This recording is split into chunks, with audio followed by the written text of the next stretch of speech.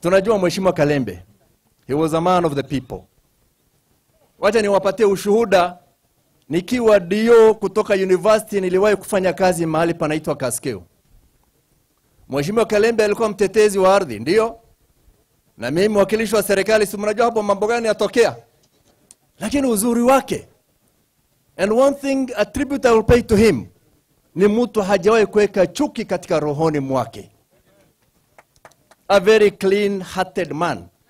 Mnafanya kazi, after two days anakupigia simu, bwana Dio, uko salama? Haya, waka niseme ya kwamba Kalembe alikuwa ni wasarakasi nyingi. Tukisema kwamba tuanze kuongea Kalembe hapa tutaongea mengi, lakini nashukuru sana kwa ile kazi ambayo alifanya. Alikuwa yeye ni mtu very simple kwa maisha, na ndipo nikasema labda COVID imetokea ili tukaweze kuchomeka na jua, ili jua hii tukaweze kutukumbusha Kalembe jinsi alikuwa anachomeka na jua akipigania maskwota.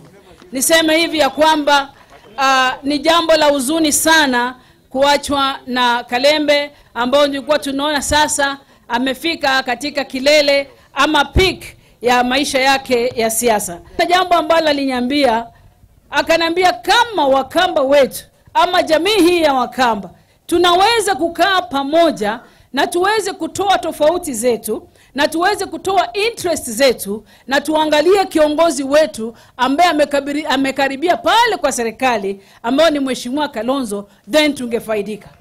Hiyo ndio neno la mwisho huyu mzee aliniambia nikiwa ndani ya gari, na nikamwombea, nikamshika mikono, tukaomba pamoja.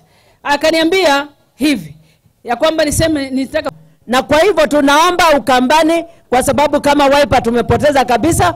Mungu atuinulie shujaa mwingine kama Kalembe aweze kwenda na kusonga mbele. Nasema Wakamba tushikane, tutembee pamoja, tuonyeshe umoja kama vile mumeonyesha umoja Machakos County. Machakos na, na, na Makueni na Kitui, tushikane tuonyeshe umoja wetu 2022. God bless you.